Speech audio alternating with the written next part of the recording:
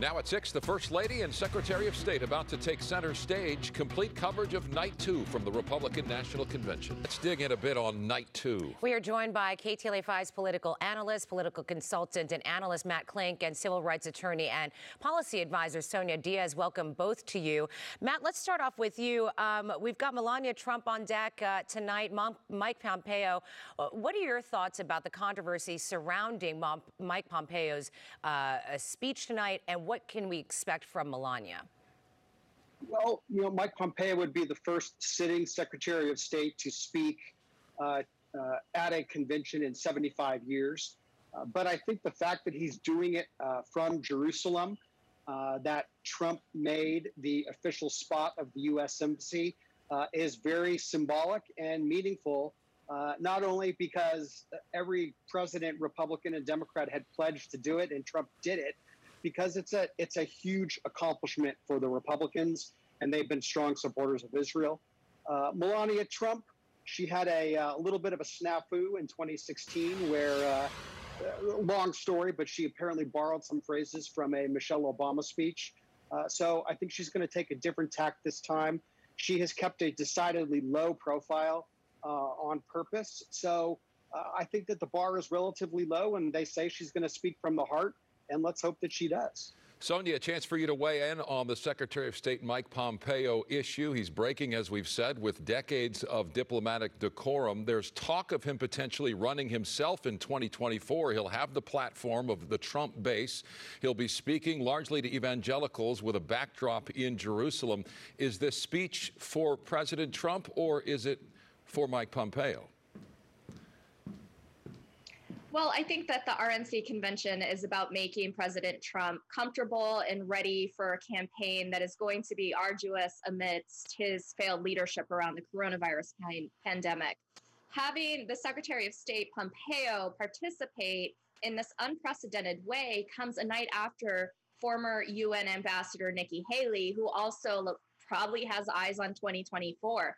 So this is really interesting because it provides a foil of two foreign policy experts and leaders from the Republican Party who are making a play for the highest office in the land while being surrogates for President Trump amidst a time when America is not a friend of Europe and not a friend of uh, the the Far East, and in fact, you know, with our handling of the coronavirus pandemic, our real only peer is Brazil, and that is not a place to be. So I think that this is fascinating. It is a competition. One may scratch their head as to why people are taking the stump, but I think that it's really about getting the nomination after the cycle. All right, Sonia Diaz and Matt Klink, thank you so much to our political analysts uh, for now. Of course, we're going to have more on the opening night of the RNC, excuse me, night two of the RNC on the news at 6:30. And so let's take a deeper dive into what we've already seen and what's still to come tonight during the convention. We are joined by our KTLA 5 panel of political analysts, political consultant Matt Klink, and civil rights attorney and founding director of the UCLA Latino Policy and Politics Initiative, Sonia Diaz. Thank you to you both. Matt, it's a big night for the First Lady, giving uh, what some are saying is the longest speech of her career. It clocks in somewhere in the neighborhood of 24 minutes, and the all important appeal to women, an area where the president has a lot of ground to make up against Joe Biden, trailing double digits in the polls with women. What do you expect, Matt? Well, look, you know, Micah, she she has taken a decidedly low profile uh, in the the three and a half years that President Trump has been in the White House, largely on purpose. In fact, she's she's garnered more attention for what she's wearing rather than what she has said. Uh, you know, so today, if she is indeed speaking for that long, uh, she must have a lot to say. And if she is, again, if she's talking for 24 minutes, let's hope that it is meaningful and that it does have a message that resonates. You know, I think that uh, Donald Trump uh, in 2016 he did well with married women uh, and with women in the suburbs. Both of those have fallen off, and they are weak points for him this election cycle. So if she can claw back some of that lost ground, I think that it will ultimately be a success for the president. Well, Sonia, uh, Melania has um, has said before in an interview that she has her own opinions, and uh, from what we're learning about this speech that Melania will give from the Rose Garden, um, that this speech has not been vetted by the West Wing, that it's all coming from the East Wing um, and uh, the White House. What are your thoughts about that? I'm really curious if Melania is going to buck the trends of this evening and actually identify the 178,000 Americans who have died because of the coronavirus pandemic. Our country leads the world in our death per capita, and it frankly has not been discussed. Tonight, instead, we've been seeing a lot of commentary around cultural grievances and canceled culture. And I'm not sure how any of those grievances translate into actual policies or governance, especially as we find ourselves in the greatest economic recession since the Great Depression. We find ourselves uh, no better off with the coronavirus pandemic in response. And we also find ourselves not only dealing with racial reckoning that has been made top of mind again with what happened in Wisconsin, but climate change. We see wildfires in California and other types of natural disasters, including hurricanes in the South. So I'm curious if Melania is going to discuss any of these things. Matt, we just aired moments ago uh, the speech given by the president's 26 year old soft spoken daughter, Tiffany Trump. She has remained largely out of the spotlight, in large part due to her studies. She's a recent graduate of law school. Uh, she spoke again moments ago. Here's part of what she said. My father is the only person to challenge the establishment, the entrenched bureaucracy, big pharma, and media monopolies to ensure that Americans' constitutional freedoms are upheld and that justice and truth prevail. My father does not run away from challenges, even in the face of outright hatred, because fighting for America is something he will sacrifice anything for. He dreams big dreams for our country, and he is relentless at achieving them. You see, Make America Great Again is not a slogan for my father. It is what drives him to keep his promise of doing what is right. Her speech four years ago was well received at the convention. How about tonight? Look, uh, Micah, as we talked last night, you know, the Republicans are not campaigning to people in California. They're not campaigning to people in New York. They are campaigning to people in the middle of the country. And she also said something that I think is importantly is very important and very relevant. You know, the Democrats want equal outcomes. The Republicans stand for equal opportunity. And she did hammer the mainstream media uh, for being largely unfair to the president. Uh, in fact, the media's popularity is incredibly low right now, and ironically enough, lower than President Trump's popularity. So uh, I think that she was catering to a certain market uh, that is not going to play well in Los Angeles, uh, but it, it, will play well in other parts of the country. And again, what you're talking about, I mean, if we want change, it is rather ironic that the Democrats are talking about have a candidate that's been in Washington, D.C. for 47 years, and every single one of the major problems that exist today existed 47 years ago when Joe Biden was there. So if you want to enact change, uh, Joe Biden is not an agent of change. He is a part of the Washington, D.C. swamp culture. Okay, uh, Matt Klink and uh, Sonia Diaz, our analysts, we're going to get back with you in just a moment. We do want to tune in now to the Republican National Convention.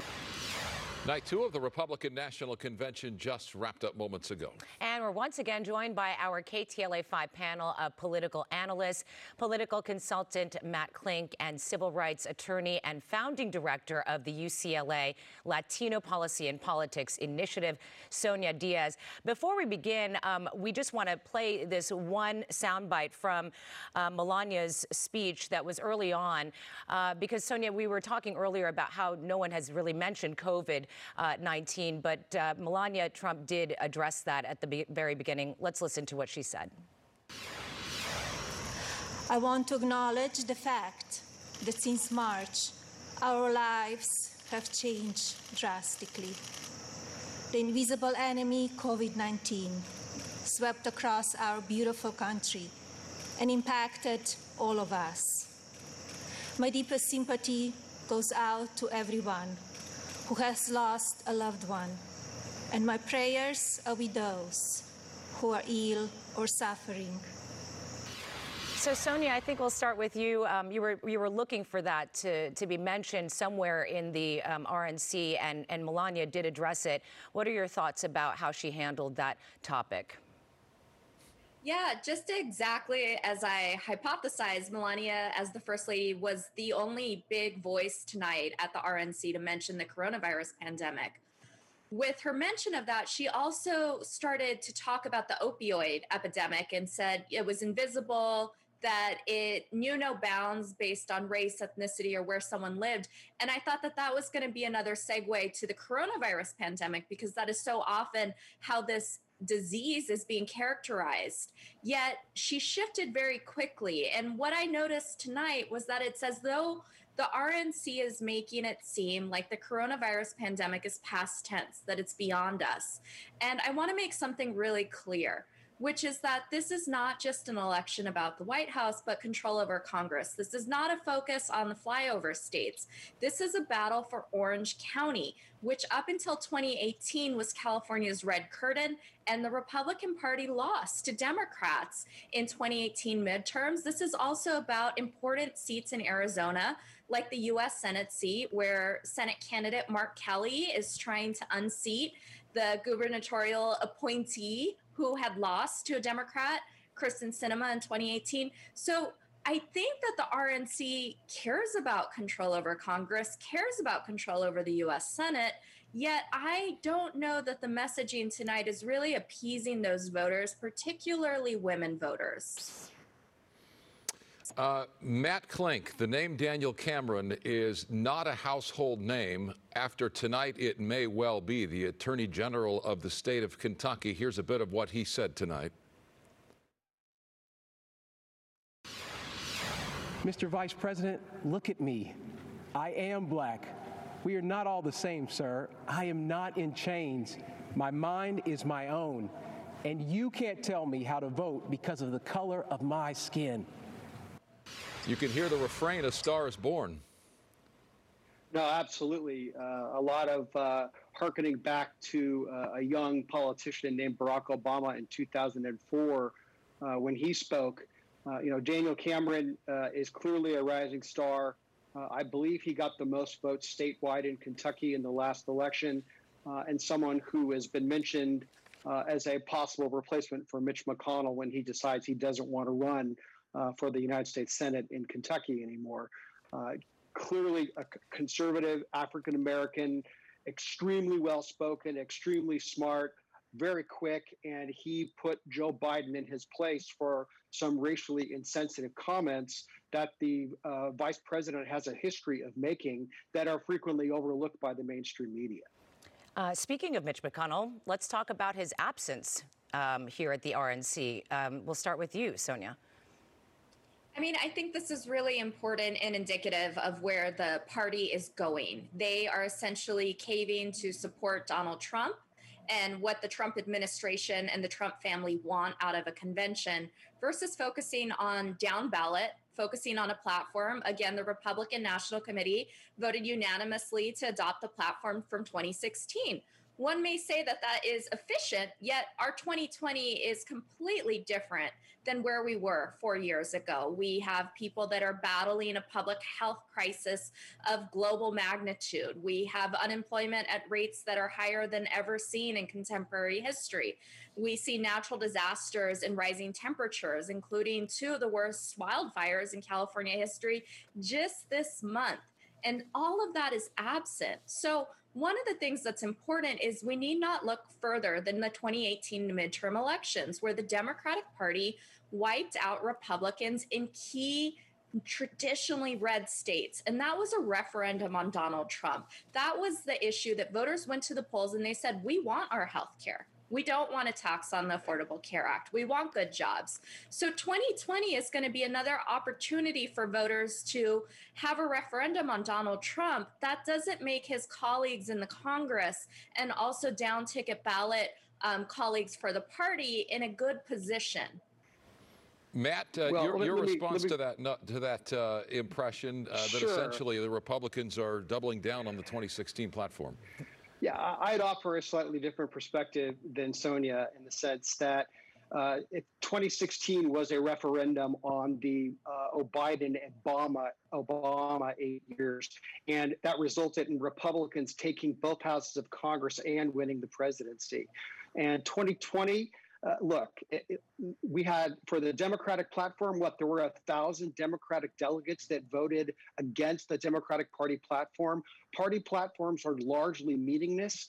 But if that's the case, Bernie Sanders and the radical left played an instrumental role in crafting policies that Joe Biden skirted away from during the convention.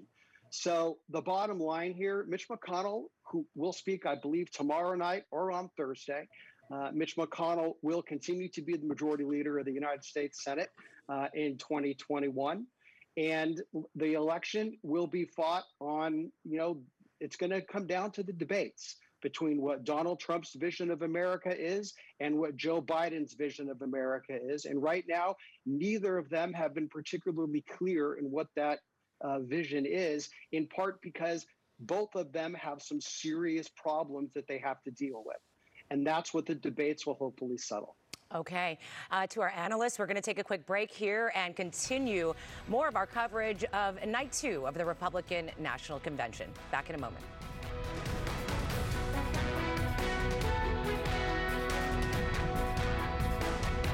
Back with our panel. Final thoughts, Matt Klink, to you first. 20 seconds, go. 20 seconds. Uh, America was introduced to the rising star Daniel Cameron tonight uh, from Kentucky, current Attorney General, someone who will clearly be going places. Look for him either to be their next governor or the next uh, Republican United States senator from senator from Kentucky. That's it. Over to you, Sonia. Yeah, lots of hypocrisy. We saw naturalization ceremony performed by Donald Trump as we see families and kids being separated at the borders, uh, ban on Muslims, public charge rolls, and uh, undermining of the U.S. Census. We also saw identity politics from the Republican side as to why Black voters need to support Donald Trump. And it is just very confusing, and I'm looking forward to tomorrow night.